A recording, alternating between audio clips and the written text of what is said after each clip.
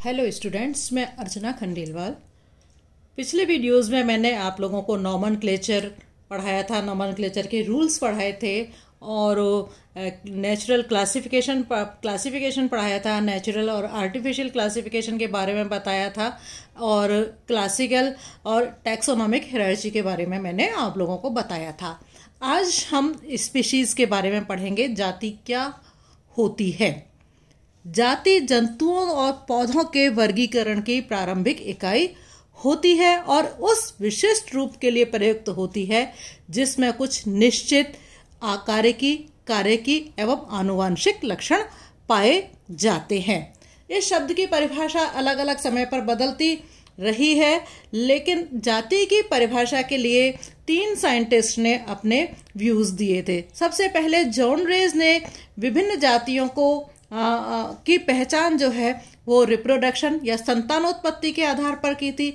Linnaeus ने जातियों की जो पहचान थी, वो एनिमल की संरचना के आधार पर की थी और जॉन सॉरी मेयर ने जो पहचान की थी वो की थी पॉपुलेशन ऑफ़ हाइब्रिड एनिमल्स के अकॉर्डिंग उन्होंने जाति की पहचान की थी। तो जॉन रे ने कहा था कि वे सब जंतु जिनकी उत्पत्ति एक ही तरह के पेरेंट्स करते हैं, एक ही जाति के सदस्य होते हैं।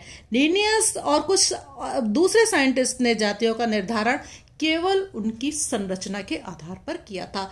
लेकिन जो मेयर साइंटिस्ट थे, उन्होंने बताया कि नेचुरल कंडीशंस में परस्पर सेक्सुअल रिप्रोडक्शन करते हुए या इंटरब्रीडिंग द्वारा अपने ही जैसी जननक्षम संतानें उत्पन्न करने वाले जंतु एक ही जाति के सदस्य होते हैं। तो खास बात क्या है? इस डेफिनेशन में अपने ही जैसे जननक्षम संतानें उत्पन्न करना, करते हैं, तभी वो उस जाति के सदस्य होते हैं। तो जॉनरे और लीनियस की परिभाषाएँ जो हैं, वो ट्रेडिशनल कॉन्सेप्ट ऑफ़ स्पीशीज थी, ठीक है? पर जबकि मेयर ने जो जाति की परिभाषा दी थी, वो संकरण प्राणियों की समष्टि के आधार पर दी थी और यही मॉडर्न कॉन्सेप्ट ऑफ़ स्पीशीज पर आधारित है, ठीक है? नाउ जो संकरण प्राणियों की समष्टि में जो है जीन फ्लो होने के कारण जाति के किसी भी भाग में प्रकट होने वाले आनुवांशिक परिवर्तन अंत में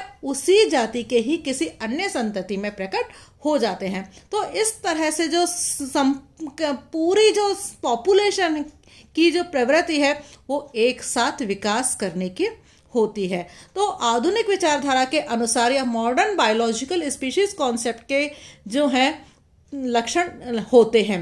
कौन कौन से लक्षण हैं कि हर एक जो जाति है या कम्युनिटी है उसका अपना एक जेनेटिक यूनिट होती है अपना एक इकोलॉजिकल यूनिट होती है और एक उनकी अपनी कम्युनिटी जो है रिप्रोडक्टिव यूनिट होती है और उनकी अपनी एक कम्युनिटी जो है वो होती है। और जेनेटिक यूनिट में जो प्रत्येक स्पीशीज में फ्री जीन फ्लो के प्रवाह के अतिरिक्त एक सामान्य जीन पूल भी होता है। Means gene free gene flow होता है और एक जीन पूल उनके अंदर पाया जाता है। तो हर एक जाति जो है, अपने वातावरण के अनुसार व्यवस्थित होने की प्रक्रिया में रहती है। मीन्स वो जिस तरह के एनवायरमेंट को अडॉप्ट कर लेते हैं, उसी तरह के एनवायरमेंट में वो रहते हैं।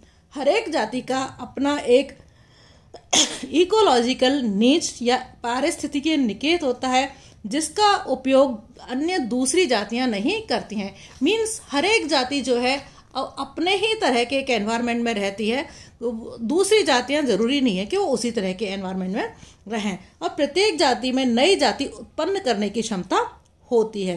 तो प्रत्येक जाति में चाहे तो हम डायरेक्ट कहें या इनडायरेक्टली कहें से प्रत्येक परोक्ष रूप में संबंधित जातियों के साथ जीन विनिमय को रोकने की क्षमता भी पाई जाती है, जिसको कि हम आइसोलेशन कहते हैं। तो हर एक जाति की अपनी एक रिप्रोडक्टिव यूनिट होती है, हर एक जाति की अपनी एक कम्युनिटी होती है, हर एक जाति का अपना एक इकोलॉजिकल नीच होता है, जिसमें कि वो रहती है, और हर एक जाति का अपना एक जेनेटिक यूनिट होती है जीन पूल होता है, जिसमें कि उनके जीन्स फ्लो करते रहते हैं।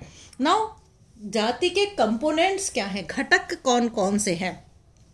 जाति के कंपोनेंट्स जाति जो है आवासीय व पारिस्थितिकीय वरीयताओं के कारण जातियाँ जो हैं वो विश्वव्यापी नहीं होती हैं, बल्कि कुछ एक निश्चित क्षेत्र में रहती हैं। तो वो स्पीशीज जो कि किसी एक निश्चित क्षेत्र में पाई जाती हैं या स्थानीय जो है, हो, इस निश्चित क्षेत्र में तक पाई जाती हैं तो तो किसी भी जाति की जो स्थानीय समष्टि होती है, जो लोकल पॉपुलेशन होती है, उसको डीम कहते हैं। तो ये डीम जो है, ऐसे हैबिटेट्स में रहते हैं, जहाँ उनके जीने के लिए अनुकूलन दशाएँ होती हैं। जब डीम एक दूसरे के साथ में काफ़ी लंबे समय तक अलग रहते हैं तो उनके आनुवांशिक लक्षण जो है, वो भी भिन्न हो जाते हैं और उनके जो ग्रुप्स हैं वो भी अलग अलग बन जाते हैं। तो जब उनके आनुवंशिक लक्षण भिन्न हो जाते हैं, उनमें जीन फ्लो नहीं हो पाता है, वो अलग हो जाते हैं तो इस तरह के अलग समूहों को सब स्पीशीज कहते हैं।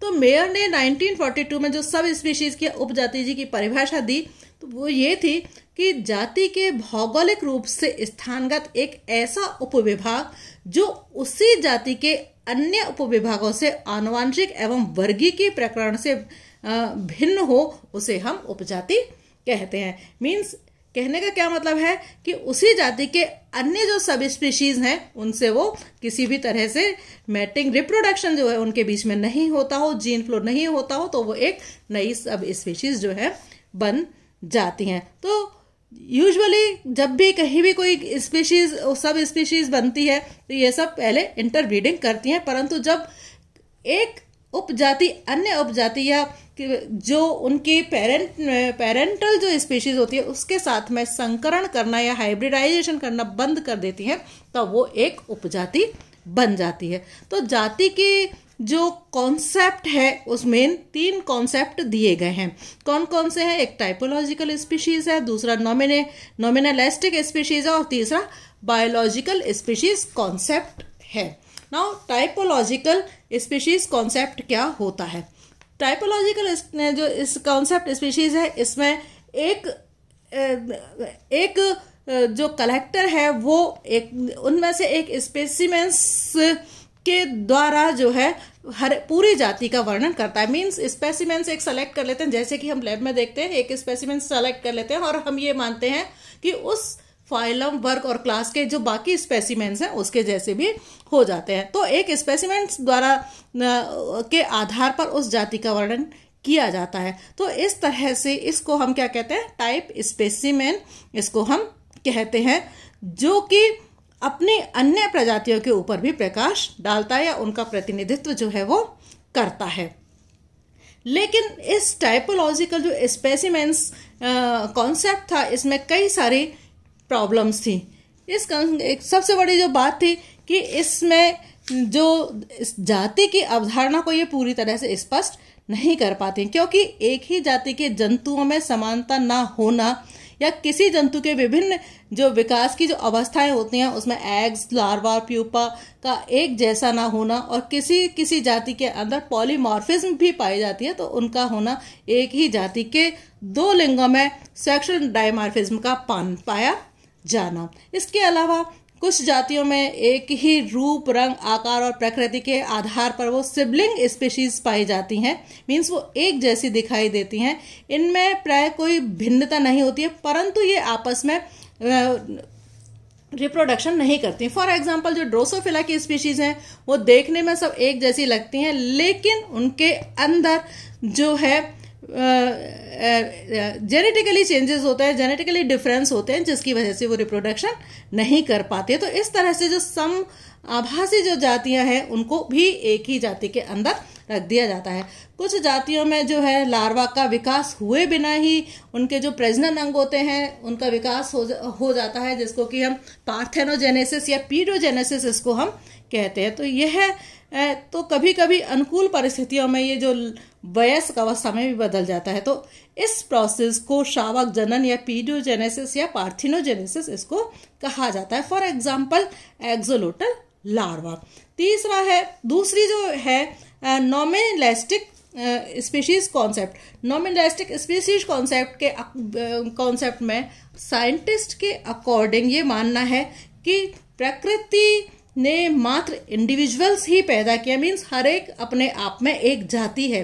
प्रकृति ने अपने मात्र इंडिविजुअल्स पैदा किए हैं, प्रकृति ने कोई जाति नहीं बनाई है, और ये जाति जो है मनुष्य की परिकल्पना है। ठीक है नाउ थर्ड जो कॉन्सेप्ट है, वो है बायोलॉजिकल स्पीशीज कॉन्सेप्ट जिसको कि मॉडर्न स्पीशीज कॉन्सेप्ट भी कहते हैं। बायोलॉजिकल स्पीशीज कॉन्सेप्ट को मॉडर्न स्पीशीज कॉन्सेप्ट भी कहते हैं, क्योंकि 1750 के पश्चात ये अपने अस्तित्व में आए थे।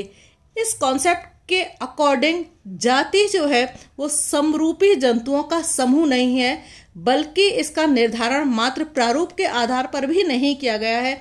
अपितु जंतुओं के व्यवहार, पारिस्थितिकी उनके बायोकेमिकल स्ट्रक्चर उनकी सेल्स इन सब के आधार पर उनका किया गया है। मीन्स ना तो इनका संरचना के आधार पर इनका वर्गीकरण किया गया है, ना ही उनके समान दिखने के आधार पर उनका वर्गीकरण किया गया है, बल्कि उनकी जो आंतरिक संरचना है उनकी फिजियोलॉजी कैसी है, उनको बायोकेमिस्ट्री कैसी है, उनकी सेल्युलर स्पीसीज कैसी है जेनेटिकली वो कैसे है, इस आधार पर उनको किया गया है।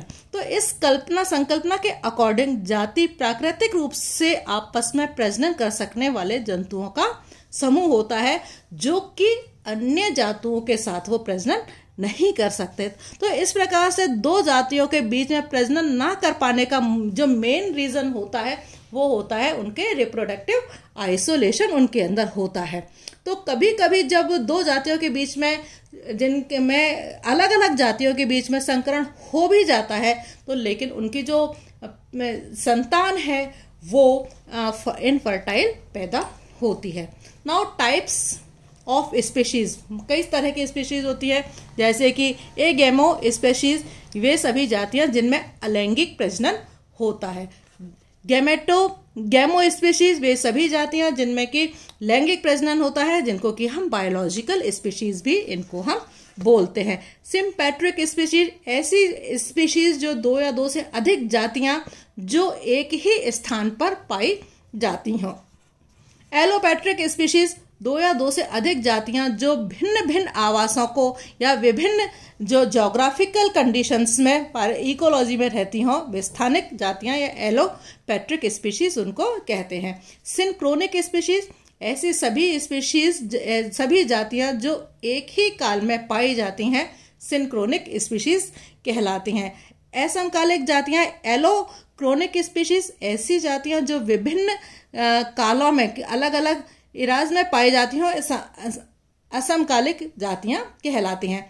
समाभासी या सहोदर स्पीशीज सिबलिंग स्पीशीज क्या होती हैं?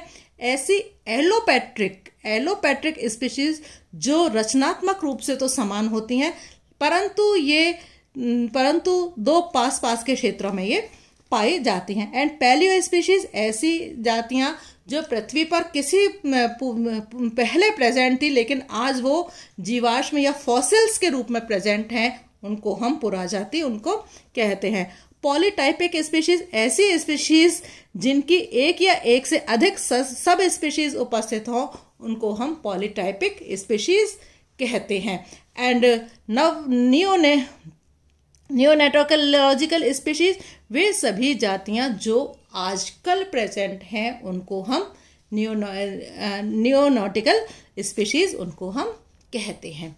तो ये चैप्टर आज आपका यहीं ख़त्म होता है। Thank you.